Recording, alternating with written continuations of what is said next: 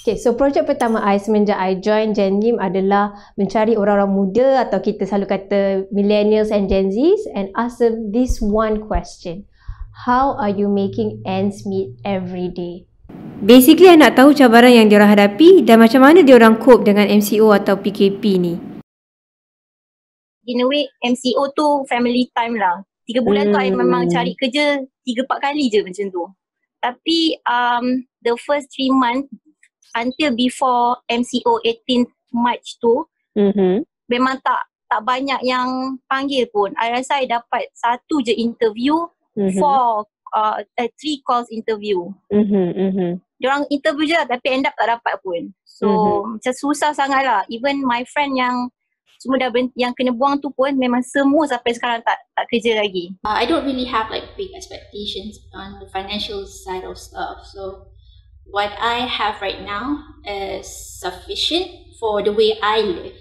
So it's like I'm not stressed mon- mm, monetary wise because I had more before. I just have enough now.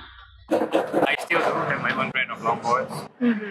but we kind of stopped selling because we didn't really make much money out of it. So we turned it into this community kind of thing, last sessions didn't have cases in the resort. Oh yeah. We were quite safe. Oh, that's good. So we totally enjoyed until like uh, I got on the last repatriation flight to come back Malaysia. Oh.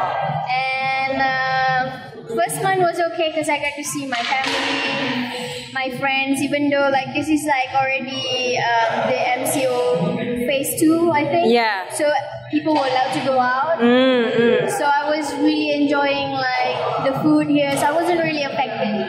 Up to recently, I started to feel like okay, I need a job because um, so because of my I'm a musician, I'm a DJ and audio engineer. So it all comes to entertainment. So as we know, pandemic, there is no entertainment allowed yeah. and uh, no music jobs, nothing. And uh, so now what I do is just keep myself busy. I go to yoga classes with my friends. I skate most of the time, maybe two or three times in a week. We even go to Lake Gardens to just, you know, to keep myself occupied rather than just staying home and thinking, oh, what's going to happen tomorrow, what's going to happen next week.